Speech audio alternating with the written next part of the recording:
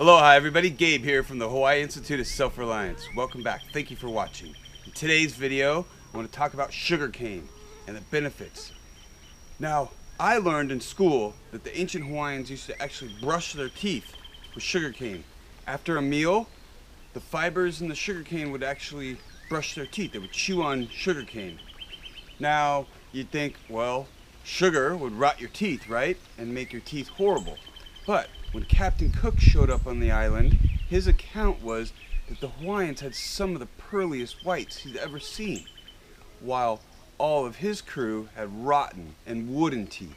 So there might be something about this, you know, like maybe in moderation. A little bit of sugar cane after every meal would actually brush your teeth, and it would be kind of like a dessert. Stick around to learn more about this plant. This sugarcane is ready to harvest.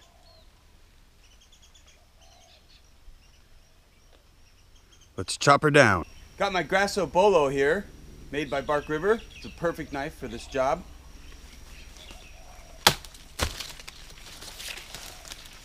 There we go. She's harvested. This is the purple variety of sugarcane. You can tell by the purple color of the skin.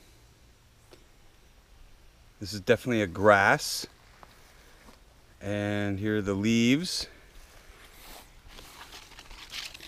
Now you can tell by the leaf if it's all like dying and they're separated more in between each node that it's ready to harvest. You want to harvest it before it creates this tassel. You'll see this long shoot kind of start to come up and that's when you want to start to harvest them.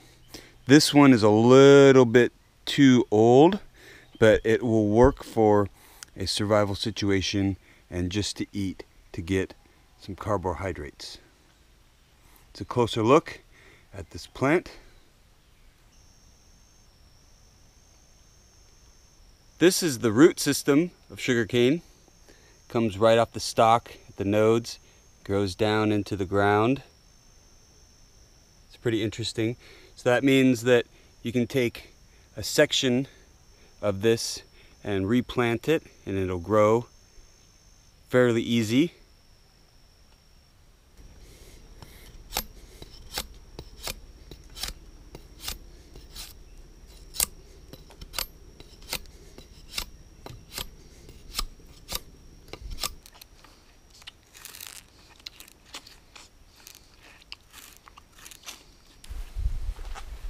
Pretty interesting plant, huh?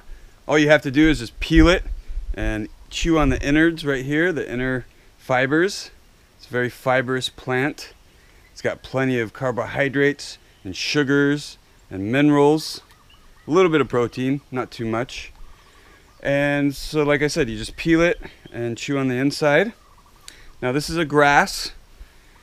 You, you might not find it in the wild. Uh, you probably find it in farmland but if you're in a natural disaster or some kind of survival situation and you come across sugarcane, you're going to be stoked because this will give you the energy to get through the day for sure. Now, you can um, make drinks out of it, um, you know, get the juice, extract the juice. And in my research, the ancient Hawaiians would use it as a medicine but they would add the juice to medicines to make them taste better. I don't think it was just a medicine on its own. But, you know, sugar can, you know, give you energy, so it can, you know, make you feel better. So it's it's definitely something that if you find in a survival situation, definitely harvest this and, and pick it. Now, like I was saying, uh, when the when the flower starts to come out, that's when it's getting too old. So you want to catch it to the point where it, the flower has not come out. But you know, any stage you can eat this, and it will give you something. It's just that there's certain uh, age that it will be ha- it'll have the most sugar, and then of course there's other ages where it won't have that much sugar.